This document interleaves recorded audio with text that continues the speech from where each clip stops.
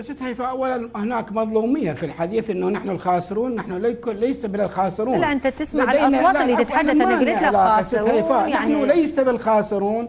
لدينا جماهيرنا وجماهيرنا انتخبتنا وموجود أعداد لدى المفوضية. نعم. أما إلا إذا كنا نكون لدينا 100 و150 هذا مو مو عملية ديمقراطية. نعم. العملية الديمقراطية أن يكون لك ممثل في مجلس النواب ونحن الاطار التنسيقي ونحن بشكل عام نسمى الإطار التنسيقي بضمن الكتلة الصدرية نعم. لا نزال المكون الشيعي يحتفظ بأكثر من ال 150 مقعد وهذا ليس بخاسرين نعم. الخاسرين اللي كانوا يراهنون علينا أنه إحنا في هذه الدورة لن يحصل المكون الشيعي بدرجة أساس على أكثر من كذا 10 و15 مقعد باعتبار. لا لا لا بس نحن نتحدث أستاذ خالد مو نتحدث عن الكتلة الشيعية بكل. إحنا, إحنا نتحدث عن شخص شخص الإطار التنسيقي هيئة الإطار التنسيقي تعترض على نتائج الانتخابات إحنا معترضين بشكل عام ليس مصلحتنا وإنما لتقويم العملية السياسيه نعم. لأن ما يبنى على باطل فهو باطل.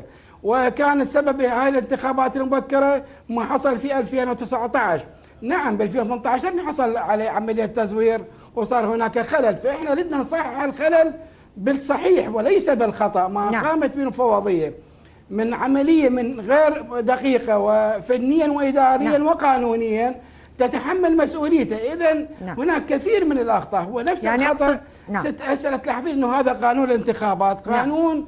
آه مو بس مجحف مجحف للشعب العراقي بشكل عام بحيث القانون يحمي الصوت الانتخابي نعم. هناك صار لكن أيضا السيد